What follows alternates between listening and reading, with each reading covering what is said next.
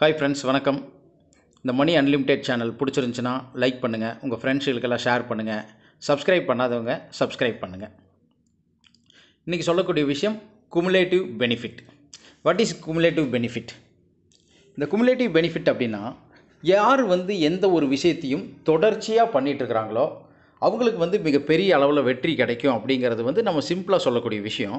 இதுக்குள்ளே வந்து சில கருத்துக்கள் அப்படிங்கிறது வந்து உள்ளடங்கி இருக்குது. என்ன கருத்துக்கள் அப்படின்னா இன்றைக்கி ஒரு விஷயம் யார் பண்ணாலும் சரி இன்றைக்கி வந்து ஒரு ஒரு கிரிக்கெட் பிளேயர் இருக்கிறார் அப்படின்னு பார்த்தீங்கன்னாக்கா அந்த கிரிக்கெட் பிளேயர் வந்து தொடர்ச்சியான ஈடுபாடு. அதாவது என்னென்னா ஒவ்வொரு ஏங்கிள்லேயும் ஒவ்வொரு பால் எங்கே வரும்? இந்த பாலை வந்து பேட்டில் எந்த ஏங்கிளில் இத்தனை டிகிரி ஏங்கிளில் நம்ம பாலை ரைட்டில் லெஃப்டில் தொட்டோம்னா இந்தந்த பிளேயர் தாண்டி போய் ஃபோர் லைனுக்கு விற்கும். நம்ம கொஞ்சம் மாற்றி ஏங்கிள் ஆச்சுன்னா அந்த பிளேயர் கையில் வந்து கேட்ச் போயிடும் அப்படிங்கிறது தான் இந்த குமுலேட்டிவ் பெனிஃபிட் இது என்ன அப்படின்னாக்க தொடர்ச்சியாக ஈடுபட்டு இருக்க ஈடுபட்டு இருக்க தான் அந்த பிஸ்னஸ்னுடைய நேக்கு அப்படிங்கிறது வந்து என்னன்னு தெரியும்.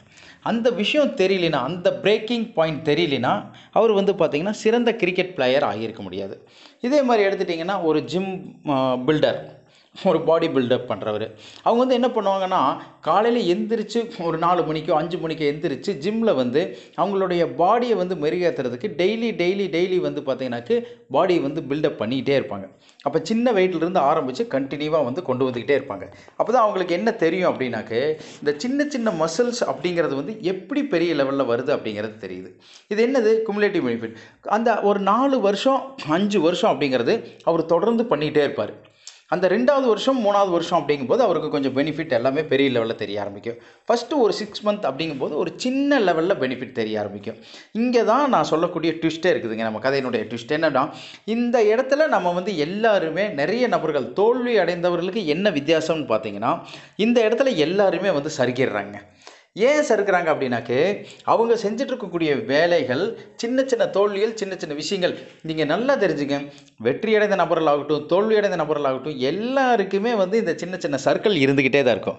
இந்த சர்க்கிள்கள் என்னாகும் அப்படின்னா வெற்றி அடைந்த நபர்கள் அந்த சர்க்கிள்களை வந்து ஈஸியாக வந்து யூட்டிலைஸ் பண்ணிவிட்டு புது புது இடங்களையும் புது புது விஷயங்களையும் ஜம்ப் ஆகி போயிடுவாங்க என்னது தோல்வி வராமையெல்லாம் கிடையாது. அவங்களுக்கு தோல்விகள் வரத்தான் செய்யுது.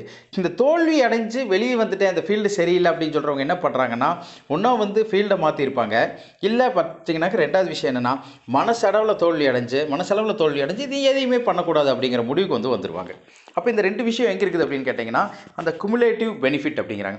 எந்த ஒரு துறையிலையும் தொடர்ந்து வந்து உங்களுக்கு வந்து மினிமம் வந்து பார்த்தீங்கன்னாக்க ஒரு அஞ்சுலேருந்து ஆறாயிரம் மணி நேரம் வந்து நீங்கள் வந்து அந்த துறையில் வந்து இருக்கணுங்கிறாங்க. அப்போ அஞ்சுலேருந்து ஆறாயிரம் மணி நேரம் யார் ஒர்க் பண்ணுறாங்களோ அந்த துறையை பற்றி நீங்கள் கற்றுக்கிறதுக்கு வாய்ப்புகள் நிறைய இருக்குது. ஏன் அப்படின்னா சின்ன சின்ன விஷயங்கள் வந்து நீங்கள் கற்றுக்க கற்றுக்க தான் மிகப்பெரிய ஒரு வெற்றியின் தொகுப்பு இங்கே கிடைக்குதுங்கிறாங்க.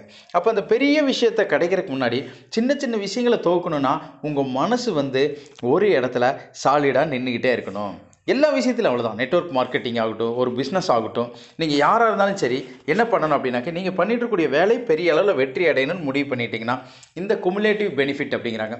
தொடர்ச்சியான ஈடுபாடு தினம் தினம் தொடர்ச்சியான ஈடுபாடு இருக்கணுங்கிறாங்க. எதுக்காக? ஒரு வித்வான் வந்து பார்த்தீங்கன்னா ஒரு வீணை வித்வான் அப்படின்னு எடுத்துட்டிங்கன்னா டெய்லி வந்து அவர் காலையில் வந்து ப்ராக்டிஸ் பண்ணிகிட்டே இருப்பார். அவங்க வீட்டு பக்கத்தில் இருக்கிறவங்களுக்கெல்லாம் கேட்டால் தெரியும். டெய்லி காலையில் வந்து பார்த்தீங்கன்னாக்கு அந்த அஞ்சு மணி நாலு மணிக்கு எந்திரிச்சு அந்த ஸ்துதி கரெக்டாக கிடைக்கிற வரைக்கும் அவர் வந்து அதை ப்ராக்டிஸ் பண்ணிகிட்டே இருப்பார். ஏன்? ரெகுலராக ப்ராக்டிஸ் பண்ணிட்டு இருக்கிறார். ரெகுலராக கிளாஸ் போயிட்டு இருக்கிறமே நம்ம தான்.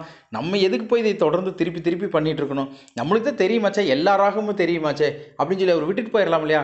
அப்படி விட மாட்டாருங்க ஃப்ரெண்ட்ஸ் அவர் வந்து தொடர்ச்சியான ஈடுபாடு பண்ணிகிட்டு இருக்க பண்ணிட்டு இருக்க தான் அவருக்கு என்ன புது புது விஷயங்கள் அவருக்கு கிடச்சிக்கிட்டே இருக்கும். அதே மாதிரி தான் குமுலேட்டிவ் பெனிஃபிட் அப்படிங்கிறது என்னென்னா நீங்கள் எந்த விஷயத்தையும் தொடர்ச்சி செஞ்சுக்கிட்டே இருக்கணும். ஒரு குழந்த பேரில் நீங்கள் ஒரு சின்ன பணம் இன்வெஸ்ட் பண்ணிட்டு இருந்தீங்கன்னா கூடி மாதம் மாதம் அதை இன்வெஸ்ட் பண்ணிகிட்டே வந்தீங்கன்னா தான் அந்த குழந்தையுடைய பத்து வயசு பதினஞ்சு வயசு இருபதாவது வயசில் அந்த பணம் வந்து என்ன ஆகும்? பெரிய லெவலில் உங்களுக்கு டெவலப் ஆகும். இது வந்து மிகப்பெரிய ஒரு விஷயங்க.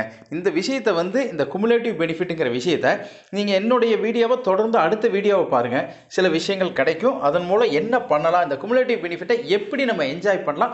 எப்படி வந்து வெற்றியாளர் ஆகலாம் அப்படிங்கிறது வந்து நம்ம தெரிஞ்சுக்கலாம் ஃப்ரெண்ட்ஸ் தேங்க்யூ